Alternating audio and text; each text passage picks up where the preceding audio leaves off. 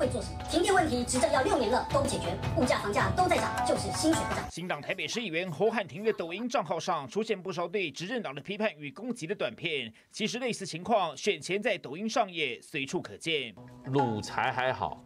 还掳人，一下说美国抢台积电，蔡政府拍手叫好；一下骂投票故意停电。此外，包括行政院长苏贞昌、内政部、卫福部、法务部等各部会机关都有假的官方账号。学者直言，这种似是而非、企图以假乱真的内容，就是典型的认知作战。学者专家分析，这次选战抖音确实发挥它的威力，有利于经营抖音的蓝营和亲中阵营，让不用中国平台的绿营吃了闷亏。这些中国制的 App 或者是软体不能在公部门的自通设备上使用。它借由一般看似无害的短片，来吸引这用户呃进行粘着，那产生兴趣之后，后面的演算法就开始发挥作用。那接着就是在中共一些特定的中央厨房的炒作之下，会把一些就是似是而非的呃，就是错假讯息变成呃短片传递给呃相关的用户，呃，造成这个所谓的一个认知作战的效应。因为有危害国家资通安全的疑虑，所以被列为一个啊，就是危险性的一个。软体包括美国 FCC 联邦通讯传播委员会也把呃抖音列为一个呃治安危害的来源，所以建议美国全面下架。除了错假讯息满天飞，抖音也因为治安疑虑遭美方高度关注。财信董事长谢金河在脸书破文警告，中国上个月以央视的名义入股抖音，实际掌控经营权，台湾政府却毫无作为，是把心房完全敞开，准备任人凌迟。我觉得不要不要。每一件事情都牵涉到意识形态，好不好？中国统战无所不在，该如何防堵网络渗透，是政府当前重要课题。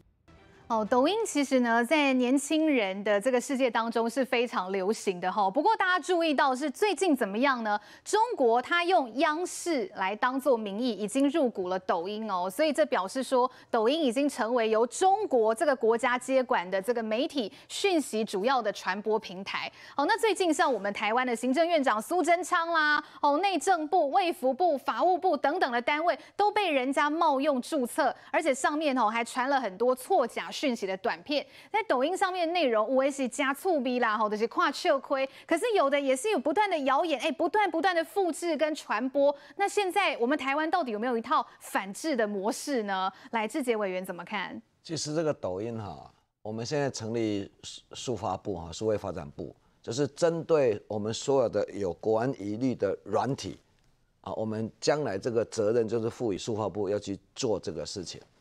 那事实上。我听朱立伦刚讲说，你不要什么事情都牵涉到意识形态，我有点觉得说，一概性撸来撸老人痴呆那个感觉。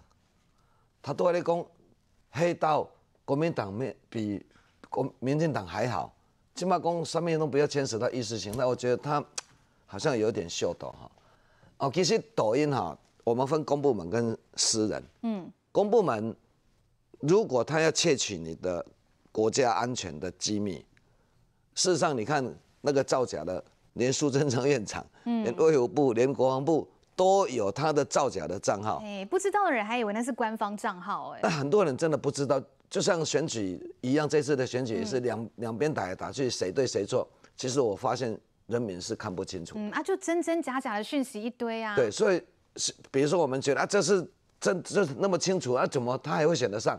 这不懂。就明的，我我在猜，最后归纳的结论，人民搞不清楚到底是真是假。哦，那抖音呢？我们在讲说，它其实它有自己它内建的哈，那那个浏览器，嗯，那浏览器是它自己会有内建的，然后它还有自己的那个安全码，甚至呢，你在抖音输入你的姓名，输入你的密码，它都可以跟你截取。哦，甚至你的信用卡的资讯，它都可以跟你截取。所以，我其实很，我们要跟民众讲，你要要。抖音私人的要用，私人的要用抖音都要去注意，更何况是公部门。嗯，好，所以我们也希望公部门就是数发部这边要全面清查，公部门的该就是禁止的，就是要禁止。嗯，那我们秘书昨天还做，其实立法院做的不好，嗯，真的该改善的我们也呼吁要改。昨天我们秘书上去，因为抖音它因为它。就有疑那个治安疑虑嘛哈，那全世界对抖音有意见，所以它现在变成两个版本，一个是中国版的抖音，一个是新加坡国际版的抖音。嗯啊，那昨天我秘书上立法院的网站，竟然连中国版的抖音都能进，嗯，都能上。所以哈，其实包括他们的微博啊，所以这个部分我们会再要求书画部今天这个提出给你警讯，你要去注意，将来怎么在公部门里面要防范啊这个抖音的进驻，嗯。啊，甚至微博的进驻。是。啊，那私人的朋友我们不能进，我们原则上也不能干涉，因为这是自由。对，但是我们要提醒好朋友们、观众朋友们，他的内建浏览器、他的安全码，他可以截取你输入的姓名跟密码，嗯，他甚至可以截取你信用卡的资讯。所以你私人如果要玩，我们不能进，我们，但是你自己要特别的小心，说你要不要去玩这个中国版的抖音。嗯，所以其实这个治安就是国安，我们再一次的要求就是数化部这个部分要加强管理。哦，委员的提点非常的重要哈，这边也请教国民党子哲哥这边的看法，因为民进党这边是担心说，哎，会不会有认知作战，还有等等这个资安的疑虑？可是朱立伦很不认同，他说不要什么事情都要扯意识形态。确实啊，这个要分呃两个层次了哈，一个层次当然就是说，如果公家机关哈，甚至国安单位，你说这个国安局啦哈，国防部啦哈。警政单位等等使用抖音，如果有治治安的问题哈，我觉得要适当的限制，我觉得合理啦。哦。但是就是说，抖音在台湾的用户大概七八百万哦，事实上美国是最大用户，呃，扣除中国中国大陆以外，美国有一亿三千万个用户啊。就抖音是现在时下年轻人很喜欢用的一个一个软体啦哈。那我会说，你如果要全如果要禁哈，那要怎么禁法？如果只是刚才我讲的，就是说有治安疑虑，对针针对公部门、哈公务人员等等，哈，或许还有还有方法。可是如果是全面禁止，对我我没有我想不到要到底要怎么禁了哈。那我的意思是说，这个这个这个部分哈。我我认为，如果不要用意识形态，我就科那个朱立伦主席是提醒啊，不要用意识形态去思考这个问题啊。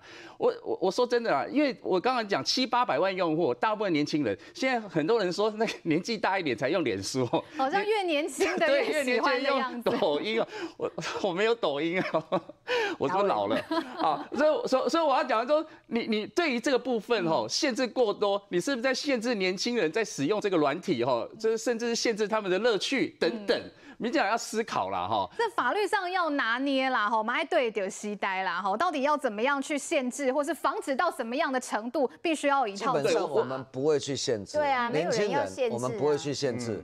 是是，我刚讲的只是提醒。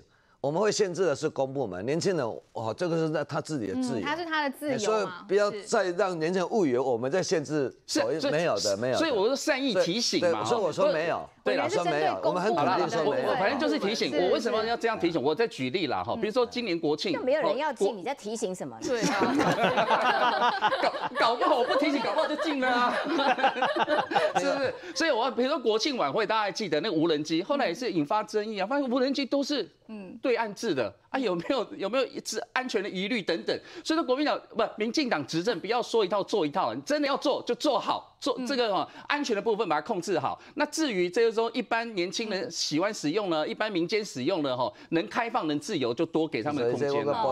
来，不要镜头，来委员咱简单补充一下。这个过菜的一暝，做菜的一时，伊唔是规暝拢伫遐做菜，啊，但是你要过餐吼，其实是做辛苦，但伊当时要去做菜就一时呢。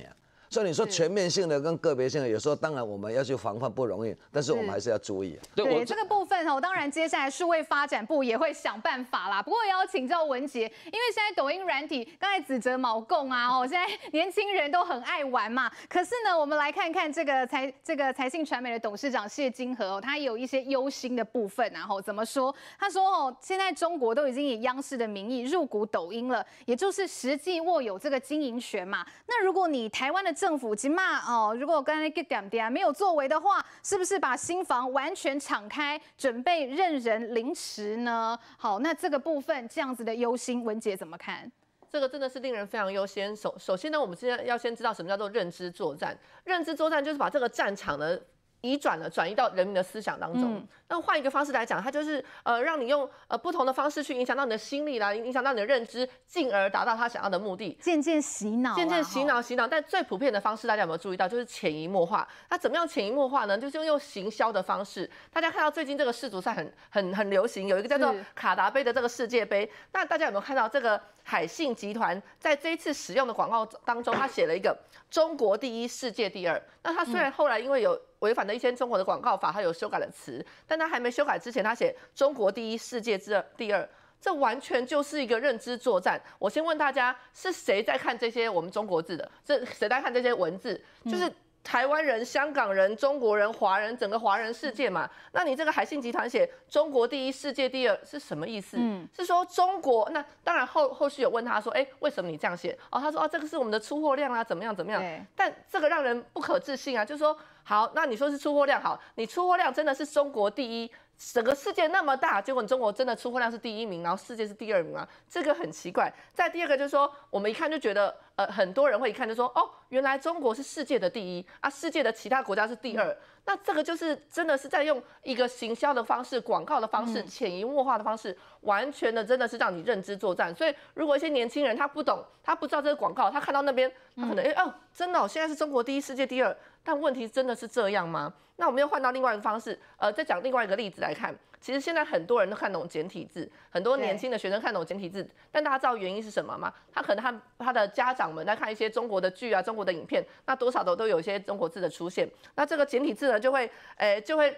慢慢的也渗透到大家的这个生活当中，但没有人说你不能去看简体字，只是说这又是另外一个另外一种潜移默化，要影响你这个认知作战的一个方式。所以这个对我来讲其实是非常忧心的，就是说，其实现在抖音很多年轻人在看，但是年轻人在看，但他们。对于思想的成熟，到底成熟到哪里去？会不会因此受到什么影响？譬如说，抖音上很多讲我们的祖国什么什么的，我朋我别人朋友跟我讲的，说有一天他孩子问他说：“妈妈，什么是祖国？我从来没有听过这个词，为什么大家一直在讲我的祖国？”但他可能看久了，他就直接讲出来。所以这就是从你可能从年轻的时候，从你现在年轻人都在玩这个抖音，所以莫名其妙就被他洗洗洗洗洗。所以如果爸爸妈妈没有告诉他正确的方式、正确的姿势，他可能真的就会被洗脑。所以我刚刚一直在讲说，这个认认知作战是非常严重的。那再讲到这个抖音，为什么我们要限制公务机一定要不能够使用这个抖音？就是说，因为你的公务机、公务的配备，它里面都很多是公务的系统、公务的资讯，你完全不知道说这些东西，你如果有了中国的这个什么抖音啊、小红书，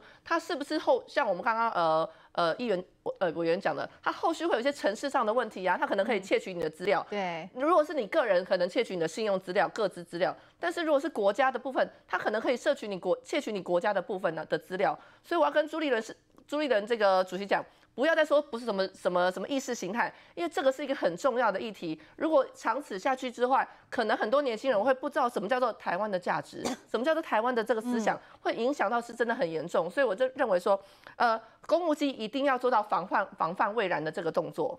哦，认知作战的部分哈，当然政府这边也要有一套这个配套，好好的来防范中国这样子的文化统战。我们稍微休息一下，等一下回来我们要持续来追踪的，就是昨天呢一大早周刊就踢爆了高鸿安办公室的小兔账本，那么高鸿安阵营也是强力的反击哦，说这整篇哦都是带风向、毁灭人格。等一下回来继续来讨论。